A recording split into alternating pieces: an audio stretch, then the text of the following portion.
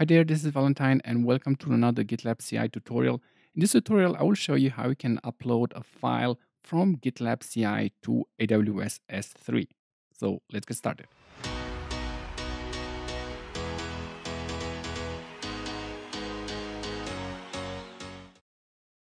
We're going to start in the AWS console, specifically in the S3 service. And the first thing we need to do is to create a bucket. I'm just going to give my bucket a name. And here underneath, you can select the region. Uh, whatever setting you have for the region, make sure you remember in which region you have created this bucket. The next step is to ensure that all public access is blocked. And I'm just going to go ahead and create a bucket. Now, if I go inside the bucket, I'll notice that it doesn't contain any objects. It's completely empty. The next step that we need to do in AWS is to configure some credentials in order to allow GitLab CI to upload files to this bucket that we had just created. For that, I'm opening again the AWS Management Console, going here to the security settings to the IAM, What I'm going to do here is to create a new user. If you already have a user that can upload files to your S3 bucket, of course you don't need this, but you need to have a user that has programmatic access. So I'm just gonna call this GitLab S3 so that I know why I created this user. The next step is selecting permissions and I'm gonna attach a very generous policy overall.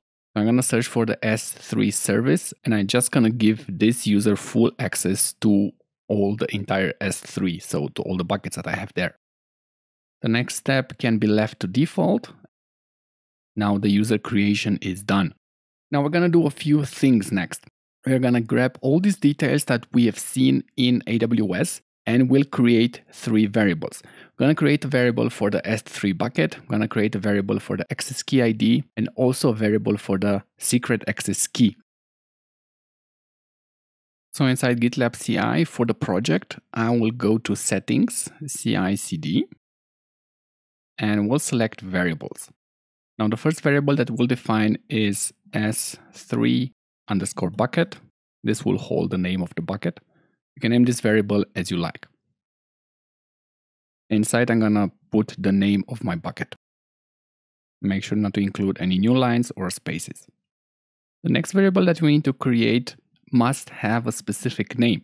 So the name of the variable needs to be AWS underscore access underscore key underscore ID. And for the value, I will go back to the AWS console, select the access key ID, put it inside here. And the next variable is AWS underscore secret underscore access underscore key. You'll find these in the video description so that you can easily copy paste them. Again, I'm gonna show here the secret access key.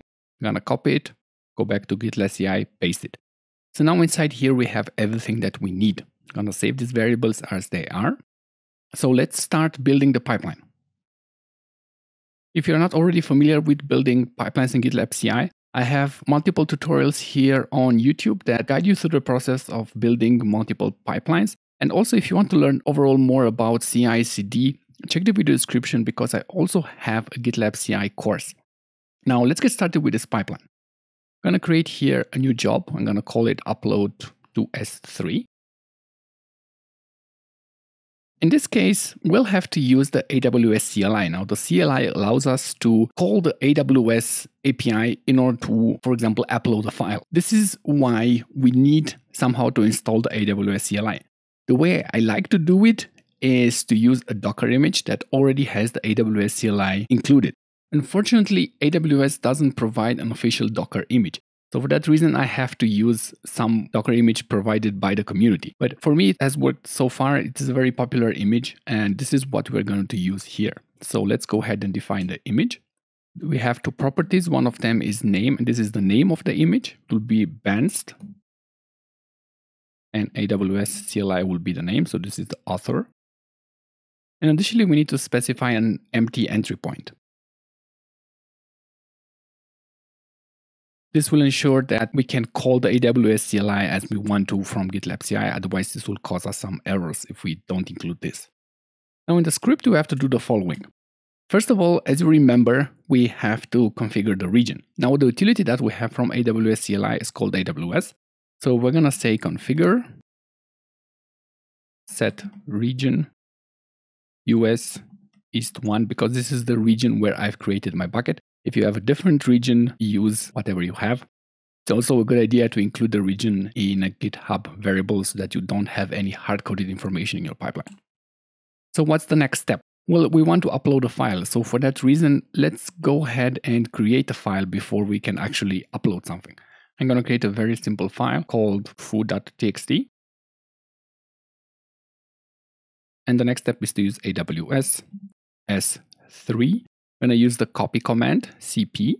I'm going to copy foo.txt to S3 colon slash slash. I'm going to use the variable S3 bucket because this is what we have defined inside AWS.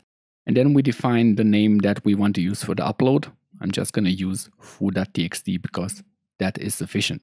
Now, what happens every time we run AWS configure AWS S3, the CLI tool will pick up the two variables that we have defined, the AWS access key and the AWS secret key. And this is why they don't have to be specifically in the configuration. So the only one where you have the liberty to decide how you want to call it is S3 underscore bucket. So this is just the name I've selected. You can use anything you want, and you can even leave it hard coded if you prefer. So let's commit this pipeline and see how it works. The execution of the pipeline only took 30 seconds. If you inspect what happened inside the job, you notice that everything worked out without any errors and it says that the job succeeded.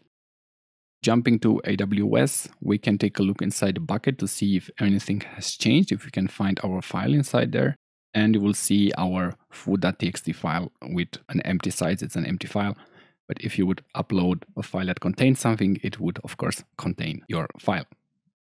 This is a very simple configuration and a very simple way on how you can upload files to AWS S3. I hope this tutorial was helpful. Check the video description for links to this configuration and this pipeline, to all the variables that I've used, and some additional tips and tricks and debugging information if you're facing any errors. Feel free to leave a comment in the section below if you like this tutorial or if you have any questions or would like to see more tutorials with GitLab CI and AWS.